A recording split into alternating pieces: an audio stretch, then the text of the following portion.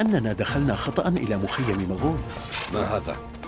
لا أحد ينظر في وجوهنا ألا يحسبوننا رجالا؟ لقد تعودوا على هذا المنظر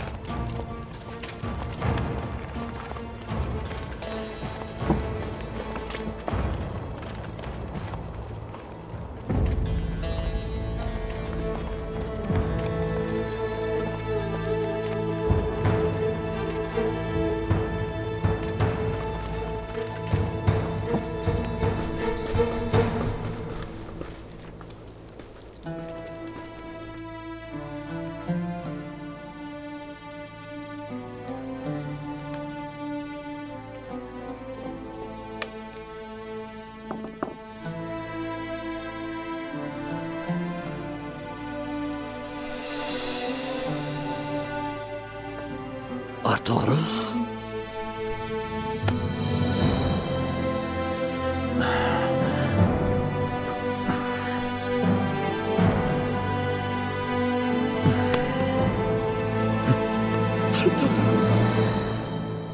أهلا بك في وطنك. سلمت يا أبي. أهلا بك يا أخي. أهلا بك أنت. شرفتنا.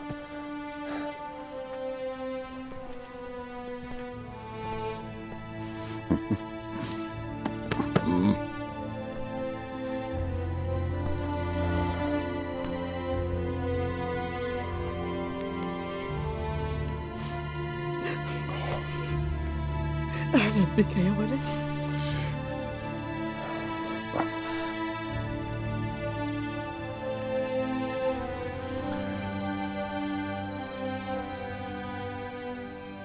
أنا لم أخف عندما عشت في الجبال لتصبح محاربا ولا حتى عندما حاربت المغول ولا عندما واجهت الصليبيين لم أخف أبدا.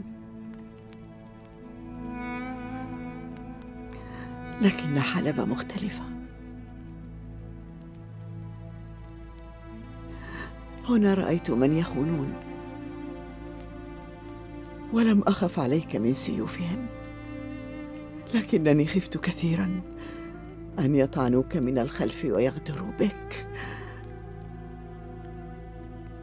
أحمد الله أنك عدت.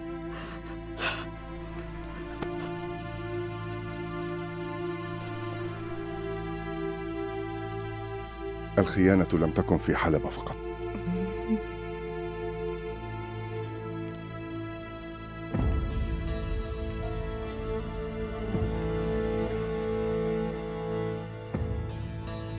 أحدهم قتل محاربينا وألقى بالتهمة علي. من فعلها يا أبي؟ كورد أوغلو. وقلت إني سأبحث بالأمر. سنسأله في الاجتماع. وسنرى ما الذي سيقوله.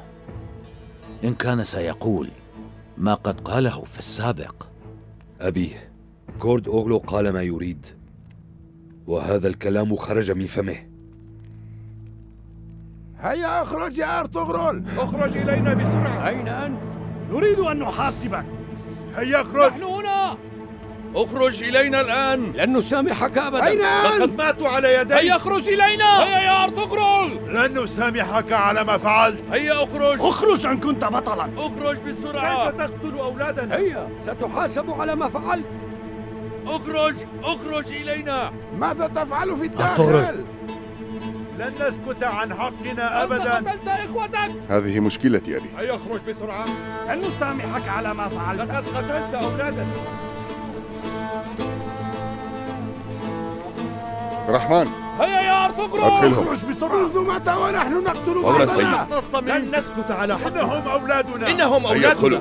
لما لا تخرج؟ دعونا ندخل بسرعة. لن نسكت عن لقد قتل حقنا إخوتنا. كيف تقتل إخوتك هكذا يا أرطغرل؟ أين أبطالنا؟ لقد سفكت دماءهم. أخبرنا أين الأبطال؟ قتلت محاربين بسيفك.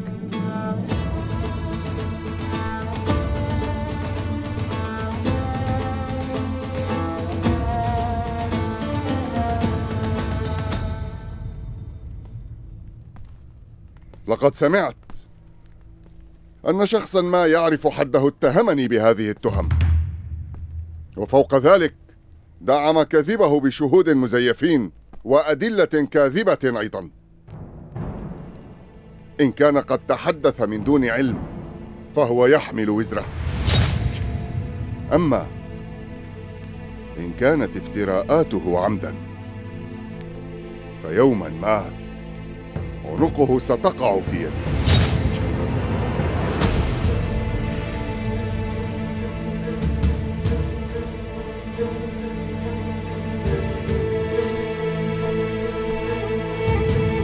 ماذا قال؟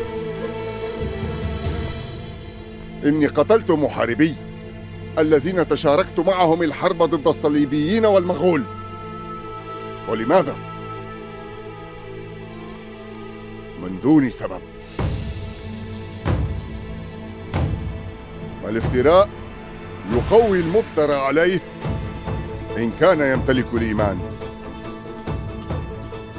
لكن الشيء الذي أشعرني بالذل هو أن إخوتي صدقوه وهذا ما آلمني وجرح قلبي. كلنا نعلم أن الله العزيز منتقم جبار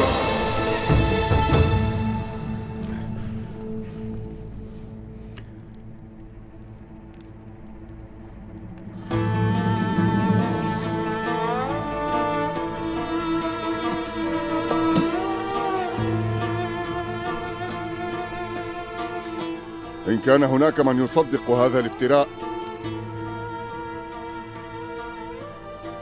ليأخذ سيفي. وليضرب به عنقي.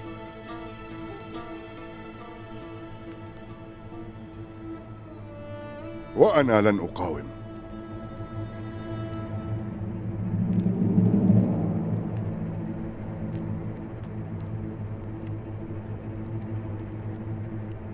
إن الموت أحب إلي من أن أعيش مع أناس يصدقون بأنني قاتل أولادهم.